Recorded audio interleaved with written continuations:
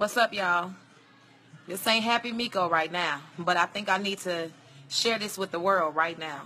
Hey guys, I woke up this morning. My Facebook page was down. As long as you guys have seen me on Facebook since 2004 and 1990 something when I was in college in 2000, the beginning of 2000, I was on Facebook when I started in college. And I've always been cutting Miko, C-U-T-T-I-N. But I, I, want you guys to notice, I was shut down. I should have paid attention. Facebook inboxed me and asked me if I was a celebrity. That I'm being followed by a lot of people and they're trying to change my page over. Okay, I get it. But I've been cutting Miko forever. So they deactivated my account, right? So I had to go through this process, and you guys, they're going to send you an email, and they're going to say, prove who you are, right? So I actually took a picture of my actual ID, and I sent it to this company, and they called me back, guys, right? And I'm thinking they're going to activate my account. So they called me and they told me, they said, hey, we need you to download Supremo Control. Y'all pay attention. Supremo Control. S-U-P-R-E-M-O Control.com. I did that.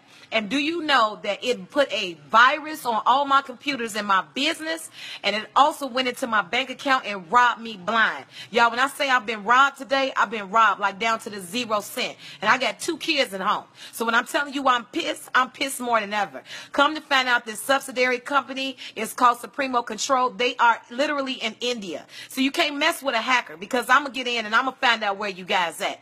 So they have on Supremo Control at the end that they're in Italy, but they're not not. They're connected to Facebook. And when you call, they'll tell you that they're Facebook. They just really want to get in your computers, which makes sense. Every time Target and Walmart break down and all these numbers with these debit cards, guys, we're actually buying things online, buying things through Facebook, and they're getting our information and they're robbing us. I just been robbed like to zero dollars.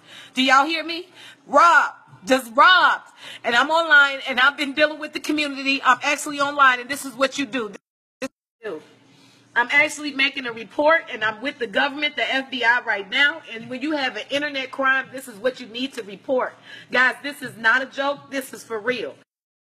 A joke. So all this uh, uh, viral thing has attracted all type of criminals my way.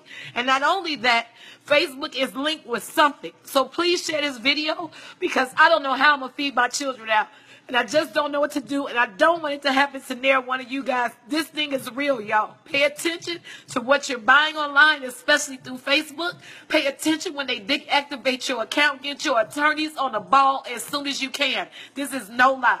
This is my warning from Miss Miko to you. I'll be back stronger than ever, but I'm trying to get my money back. Please share this with the world, y'all. When I say this company has came in and blackened all my computers and taken money, is